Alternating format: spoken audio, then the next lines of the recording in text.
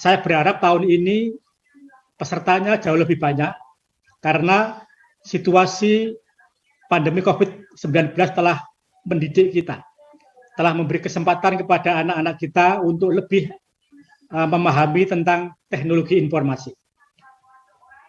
Kalau tahun lalu mencapai 65 juta, itu capaian yang luar biasa di tengah pandemi COVID-19 yang terus mendera negeri ini.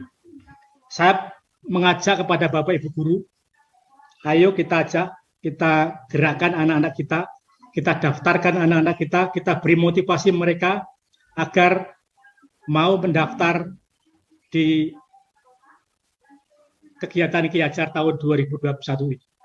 Karena program ini dikemas dengan menarik, menantang dalam memanfaatkan konten yang dimiliki oleh TV Edukasi, Radio Suara Edukasi, dan uh, portal Rumah Belajar. Mari kita meriahkan dan sukseskan Kiajar tahun 2021.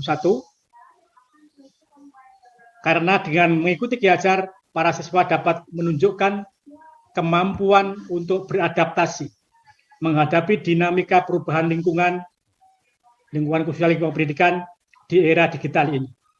Sehingga kita bisa mempersiapkan anak-anak kita, peserta didik kita, menghadapi hari esok yang lebih baik.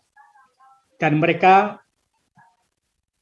menjadi pilar bagi pulihnya dan bangkitnya Indonesia memimpin peradaban di masa depan. Kiranya ini yang bisa saya sampaikan. Bila taufiq walidayah, Assalamualaikum warahmatullahi wabarakatuh.